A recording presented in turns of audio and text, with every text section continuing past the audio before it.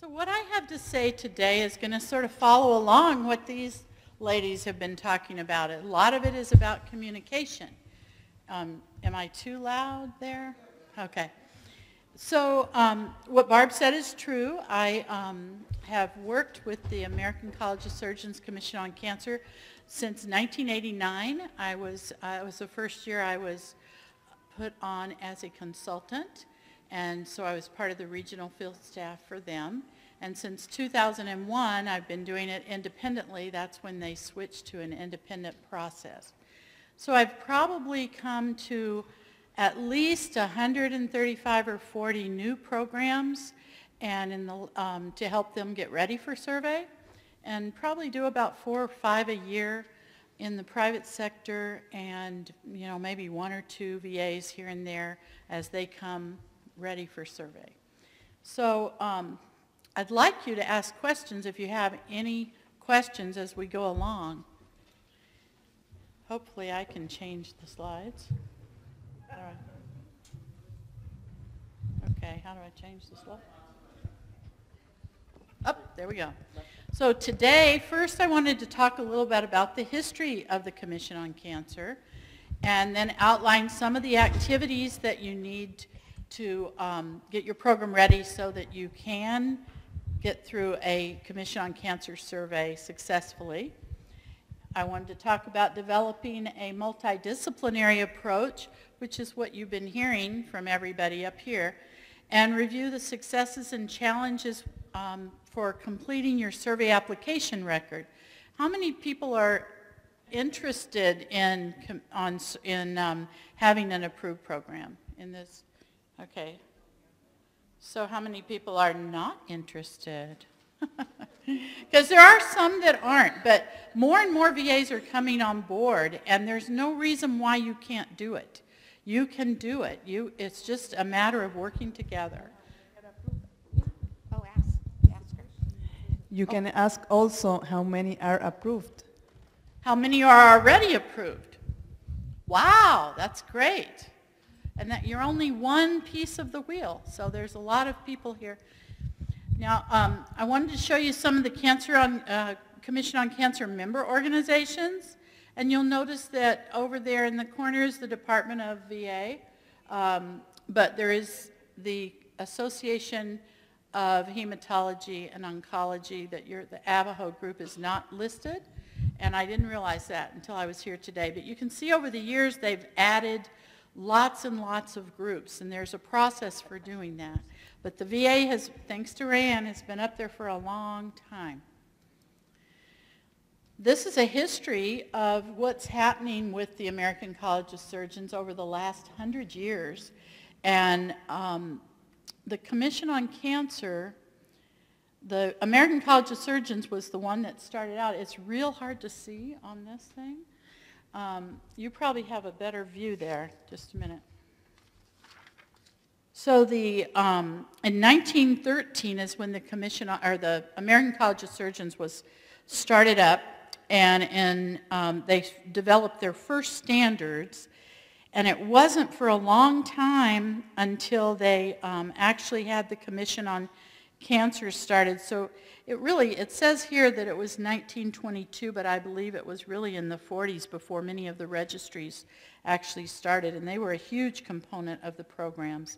Now you should be able to recognize if you're participating in an accredited program, all of these cute little signs like NCDB, which we all love, mm-hmm. and um, the NSQIP, and then the last one that's just come on board is CQIP, which is the um, completeness report that, you're, that you see out there, the quality improvement reports that they've sent you 75 slides of to go over with your cancer committee in your spare time.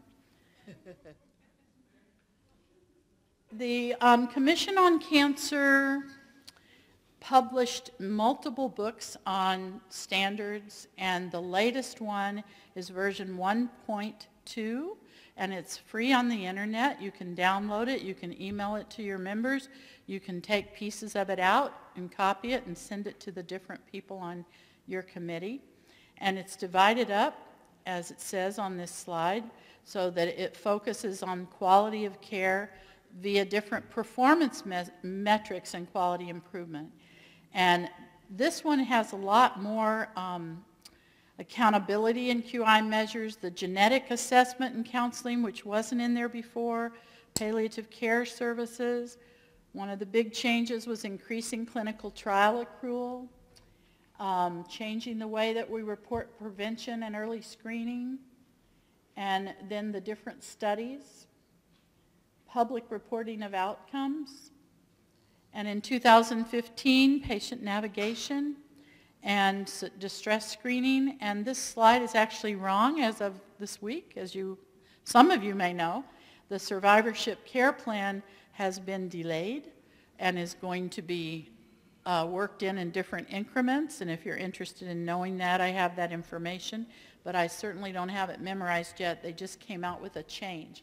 Because I believe it was only 20% of the programs even thought they would be to the spot they needed to be to have that work by 20, 2015. So you can interrupt me if you have a question or a concern. So this is a cute little map that is about a year old, and you can see whatever state you happen to be from, how many approved or accredited, that's the better word, accredited cancer programs there are. And you can see here in the great state of Oregon, there's what, 16, Jennifer? A lot. So that's something to be proud of for the West Coast out here. And for the, for the state of Washington, we have about 37. And there's been a big push for some years to get more and more VAs to enter the accreditation process and become accredited. And um, I do know of at least one new VA this year, and I think we'll probably have a couple more in the next couple of years. So we believe, if you're a part of the Commission on Cancer, that quality improvement comes through accreditation. And I truly do believe that. Um, if you build the right group and you go follow the standards and you provide really good data, and that's very important, you're going to have a quality improvement happening in your facility. So what is the value of being an accredited program? The, there's a value to the payers. There's a value to the administrative team. There's a value of the providers because we have all this data that we can give them. And the more data they get and they see, the more tools and structure they have, the better their program is going to be because they're going to improve their care. The people who make policies,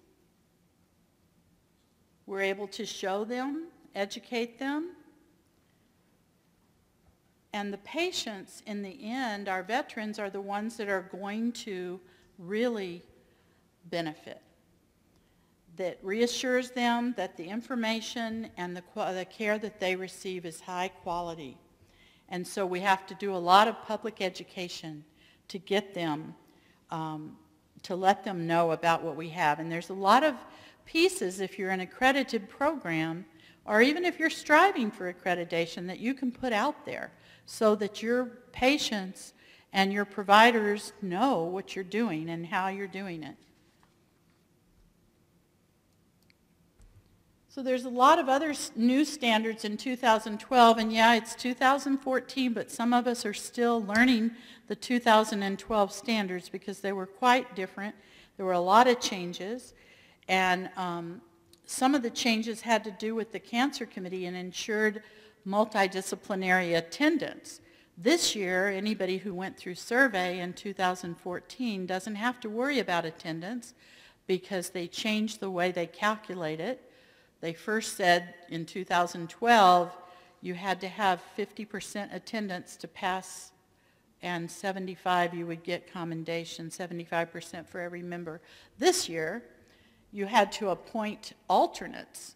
And if you appointed an alternate, either one of you could attend, and um, as long as that alternate was appointed at the beginning of the year, and you would get credit for attendance. but you have to have 75% attendance, and the attendance is calculated not by the person, but by the position they hold. So if the cancer registrar attended 75% of the meetings, you would meet, whether it was one cancer registrar or her alternate registrar. Same thing with your surgeons, uh, which we know are easy to get attending, and um, some of the other physicians that we have tr- traditionally had some problems getting to attend. Maybe not at your place, but at my, mine we do. And that's what this standard is all about. So this year you all get a bye on that one. In other words, you, if you were surveyed this year, that standard was met. But next year, you have to show your alternates and show your attendance. And then there was some significant monitoring of community outreach that was identified as a need and an activity. And so you're supposed to do a, um, some sort of an assessment to see what site of cancer, what kinds of patients have a higher morbidity and need to be screened earlier. And the VAs do an excellent job of the screening, and they actually have some um, automatic um, meeting of those, those standards because of the screening that is done in the Veterans Administration. But you still have to look at the needs of your patients and what sites are high. Maybe you need to do some sort of education, even if it's just a poster board. Um, and you need to keep track of the numbers of people that go through these screenings so that you can put that in your survey application record. This is a hard one for some of the smaller facilities. They're increasing the clinical trial accruals nationwide for all programs, including the VAs. The um, College of American Pathology protocols and the use of synoptic and pro, uh, reporting changed and um, the, the percentage went up, I believe. So we have to, um, another group, uh, another change was the RQRS program, and that is Rapid Quality Reporting System. And the Rapid Quality Reporting System is really sort of a fun, um, if you like data, I call it fun. Um, you might not think it's fun, but um, it's a way of tracking your patients before they miss the boat before they've missed out on getting treatment. And it's a way of sending your data in early enough to where if they didn't get their treatment, you can notify the physician and say, hey, I, I don't see it in the record. Is he going to get chemo for his stage 3B colon cancer or not? Um, and maybe that will prevent a delay. And so it will compare your performance rate with other accredited programs across the country and over time. And it actually really is helping to get people more aware of what those different performance measures are and how to meet these requirements. So, uh, oh, did I go backwards? Yes. I am. Okay, so now let's get into preparing for a really successful survey. Um, or, uh, so in this case, we have no agenda for the meeting, so what on earth are we going to do? It's the day before the meeting. That is the worst scenario that you can put yourself in. Once a year, you need to sit down with the, several key players on the team and um, that would be your cancer committee chairman, your liaison physician, maybe your quality improvement person, and or whoever is the one, and you all know who they are, that the movers and the shakers in your program that really help to get it going. And if you don't have any, you can create that person by getting them to sit down and really explaining what the standards are that you need to meet and how you need to have an agenda pre-planned and a plan for your year. And that's when you're going to um, sort of talk about your goals for the year, your objectives, your, um, there's, you have to come up with some clinical and programmatic goals. And you're also going to talk about what kind of studies should we be doing? What, um, you you know, we need to look at our cases and maybe you need to come prepared with data to that meeting. But it should be the cancer committee chair for sure that is there and is helping you. And maybe it's only going to be that person, but you really need to get that. So you're going to have an annual planning meeting. You're going to assure right off the bat that everybody that is, um, is a committed member and that they all have alternates assigned. And that can be all done outside of the cancer committee. It should be done outside of the cancer committee. Don't expect to go to your first cancer committee and sit down and say, okay, who who's, who's going to be your alternate, Dr. Jones? And they're like, what are you talking about? Um, you know, so you need to do this all ahead of time with your chair. And um, if you're in a small program, and a lot of people are having trouble in asking the college, what do we do? We don't have except for a medical oncologist and, you know, or let's, let's skip not medical oncologists. Let's say two radiation oncologists. One of them is, um, you know, can't make the meetings and the other one is the chair. So I can't expect him to cover for the other one. So if you don't have an alternate, it's okay. But the, but the person, the member that's required has to attend 75% of the meetings. And it's okay to call in. Barb and I have been calling in to probably five cancer committees across the country for a long time. And, and now they're even encouraging you if you're, you know, your surgeon is on vacation and he can't make it, he can call in and um, most facilities have the, the uh, technology to do a conference call in the middle of the room and have a, a speakerphone. And um, I even have one physician that, I don't know where he was. I think he was probably on the golf course. But um, he was texting me his comments so that I could say what his comment was because he, he couldn't be heard on the speakerphone. It was really sort of interesting how they really have taken it to heart, at least at one of the facilities that I work at.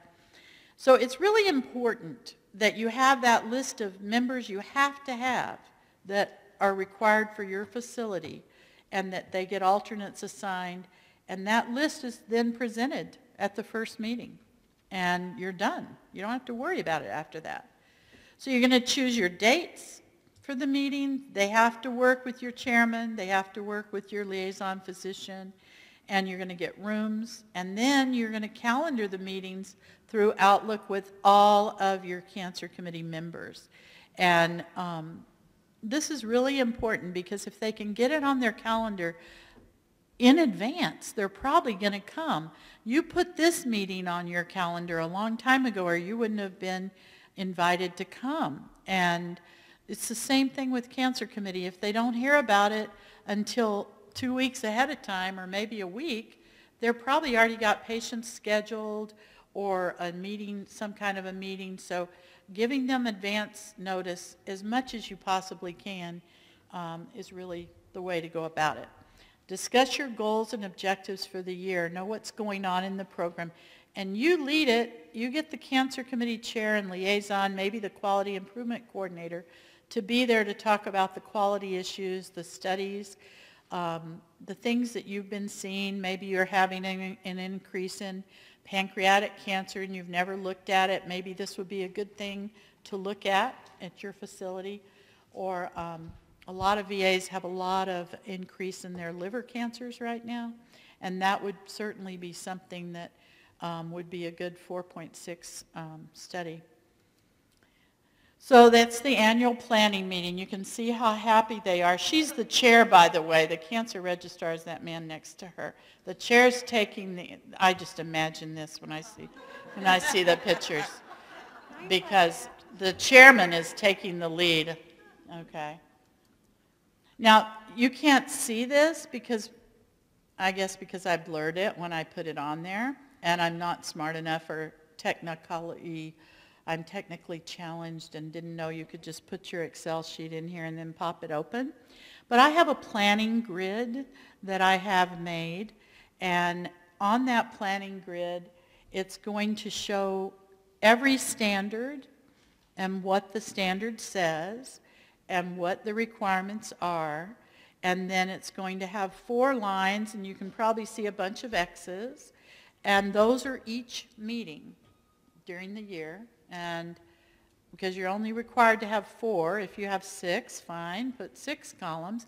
But I go through systematically after we've had our planning meeting, and I mark when we're going to do what on the agenda. So voila, we've got our agenda for the year. All we have to do is pull it out and okay it with the chairman and send it out. So, um, and if something doesn't get presented because, say, the nursing person that was, you know, the director of nursing is, didn't get to come because her son got married or something, um, then you need to move that to the next meeting, but you need to make an arrow or something and be sure that that is really important that, that you remind her because you can't skip any of these things. And when it comes to the end of the year, you'll be able to see that you've got everything done. And this is, again, some of the, you know, another way I was trying to play with it. Um, I can't even read it myself. But I also add other people, um, other things that aren't standards. I try to pick out a, um, like the rehab services don't have their own standard really, but there's questions about them in the eligibility requirements. And so I will take and have, uh, let them be like their 10 minutes to shine. Let them do a little presentation. Um, I encourage them to show the pictures of the people that are actually doing the work on the units and letting um, everybody see what they do. And they always get a lot of questions from the doctors because the doctors don't realize, you know, everything about it. Or maybe it's the radiation department. Have them, you know, show the people that are actually doing the, giving the treatments and talk about the quality improvements that they're doing in their department, and that can open up a lot of really interesting things. But again, you have to plan ahead and ask these people to be prepared to come, even if they're not members of the cancer committee. And then I just sort of jump backwards, but the eligibility requirements, you only have to look at these once a year. Um, there's quite a few of them, what, 12, 14, how many? 12. And um, they should have already been approved by your cancer committee a couple of years ago. And if you're a new program, it's really important that you do look at all of these policies and things. And there's a whole section in your standards manual about the eligibility requirements.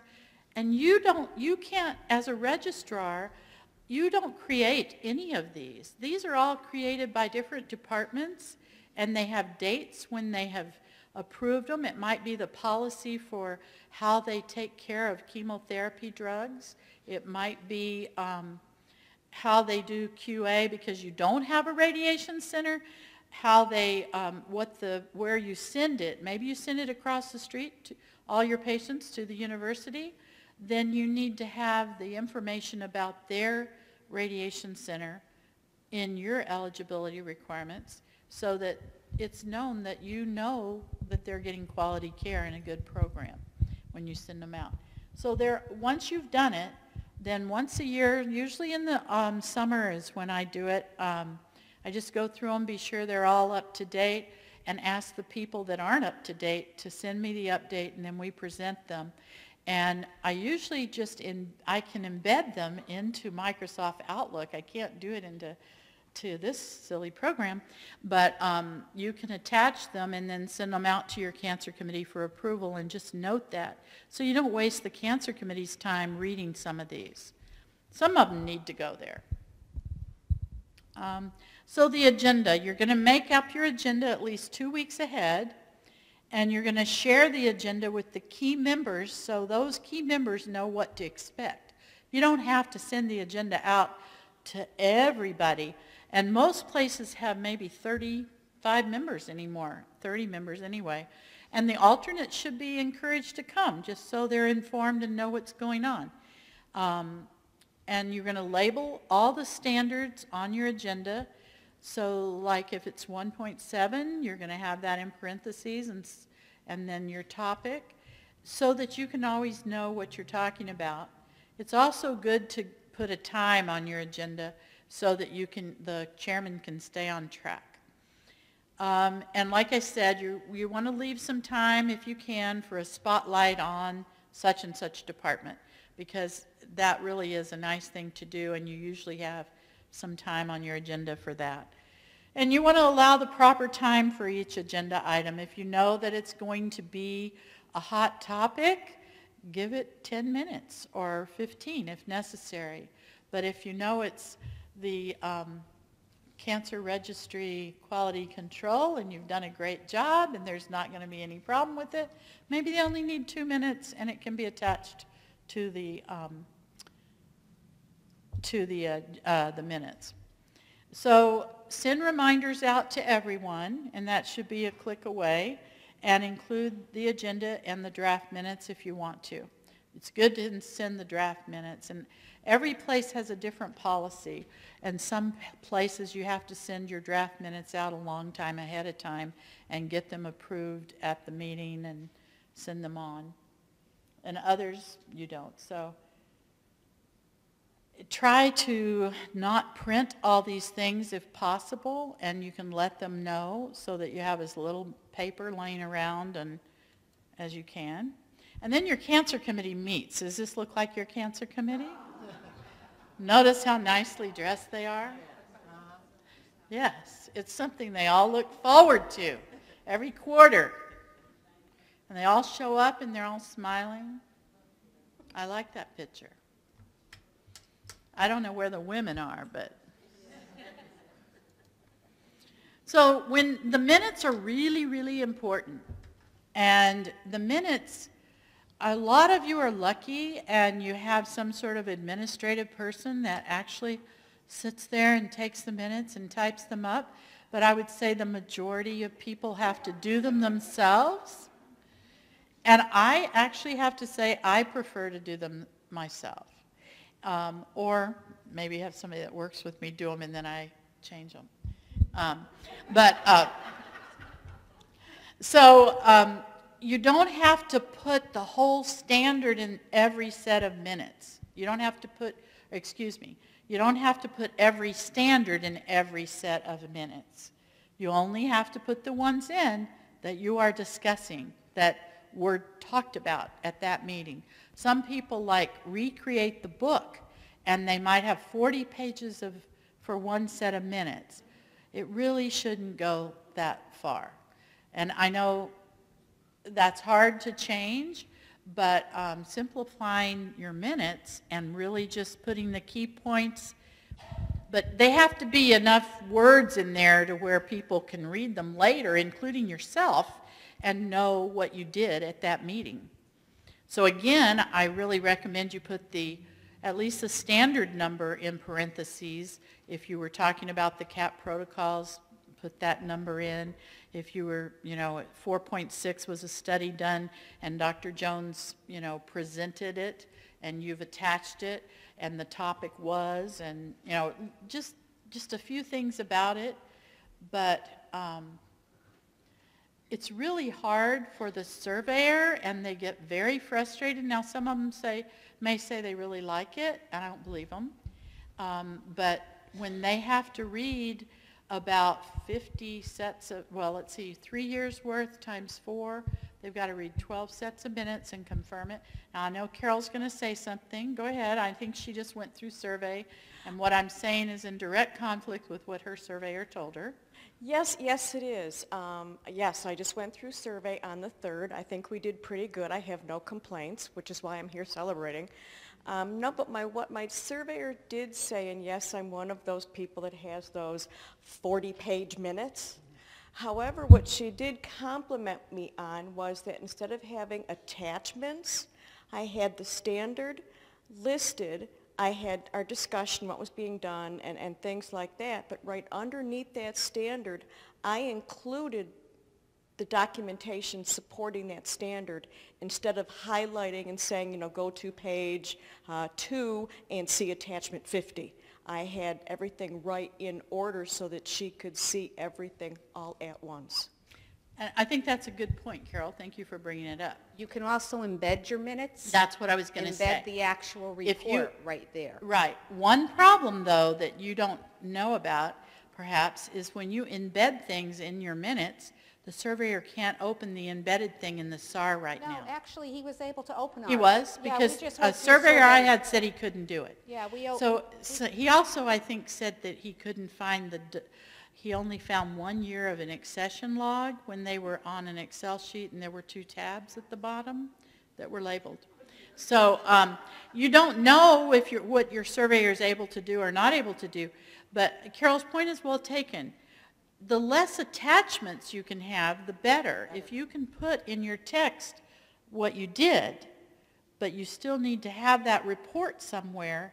Actually, you put it up on the survey application record. Um, it's better. But what I'm saying is, there's 35 standards, and this month, we didn't talk about 5.3456 at all. So why put those in your minutes and say, no action, no action, no action? Don't do that. That's a waste of, that, in my, that's my opinion. You can do what you want, and maybe your facility likes it that way, and that's the format they've had forever. Um, Some people like it with three columns and who's responsible. Other people like text. So um, just whatever works for you. But be sure ahead of the meeting that you don't have any misspelled words and that you're ready and that everything is complete. And ask for help if you need to. You know, if you, it's okay. It's, you don't, it's not all your responsibility. And there you are. It's five minutes till 12 and the copy machine won't work because you didn't do it yesterday when it was working. So you're sitting there at your desk and it's the day before cancer committee and my desk looked like that sometimes before I burned it. But um, it's just, you know, we don't need all this paper and stuff. We need to try to be more organized and prepare ahead of time. And we won't look like that. But it does make us look busy when the administrating people come around. So here's a, a, a cute little cartoon. Who do I hold accountable if you miss the deadline? Do you have any next of kin? Sometimes you feel like that. But the, and it, it's still, it's starting to shift in most places. I don't think the registrars are um, being blamed for all of the problems in the facility anymore. You're not able to take care of all of these things, of all of the standards. You absolutely can't be responsible for all of them. That's why preparing and having that group at the beginning of the year to talk about the standards really helps. So you don't look like this. So you- you're going to sit down and you're just going to relax. And you're truly ready for your survey. You're going to be truly ready for your cancer committee. Now, I haven't talked a lot about how you actually prepare for the survey because if you prepare for cancer committee, you are prepared for survey. You can still come to AVAHO even though Tuesday you're going to have a survey at your facility. Wendy knows about that. because if you're prepared and you've been doing it all along, you don't you don't have to have that crunch time. Yeah, you're going to be a nervous wreck and yeah, you're going to have to put in a few extra hours along the way. The serve, but you should be relaxed a little bit. So when I talk to a new program and they want to get they want to get you know up and running and I've reviewed them and I think they're ready to go. Well, I tell them, okay, now it's going to take you a minimum of 60 hours to complete the SAR from start to finish. That's when you haven't been using it and you're not accredited currently. If you're accredited currently, you should be putting your minutes up there as soon as they're approved. You should be, uh, there's, there's a place where you, if you're not accredited, there's a place where you can put all documentation. You can put your studies in there. You can put your accession log in there. You can put just about anything. You're putting how many um, OCNs the nurses told you they had for this year, what your cancer conference, how many people were seen, how many people were discussed, staged, everything. You can put your grid up there at the end of the year. And every year, and I believe, and it's, they've changed it every now and then, we have till the 1st of November to update your, what they're now calling, it's a brand new word, the PAR. That is the program application record. And that's what you do between survey years. And then everything that you put in that will be uploaded to your survey application record the year of survey. But it really is going to take you a long time. And one program that I just worked with in California told me, you said it was going to only take me 60 hours. I've spent 80 so far. So, you know, it takes some longer than others. But um, so you're going to load all your minutes as soon as they're approved. And, you know, if something happens and you need to have an addendum for a set of minutes or you loaded the wrong set twice or something, you can delete them and take them off. It's not there for the rest of your life or their life. The only time that you can't change what you put in the SAR is after you have had a survey and you send in your evaluation of the surveyor and the survey itself. Once you click that button that you're done and your evaluation is done, you can no longer change anything that's in there. And that's the only time. And that's there for history, and it moves down to the historical line. So um, it's okay if, you, if you're hesitant to put stuff in the SAR because you want to you wanna be sure everything's perfect for your survey, you'll get the opportunity to fix something that maybe the misspelled word or the, you know, you put the wrong number in, you know, whatever.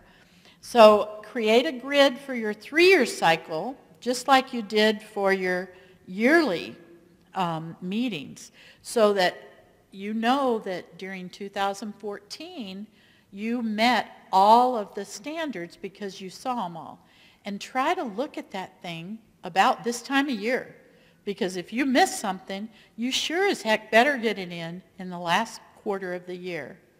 And then you will have met for that year and you can breathe easy.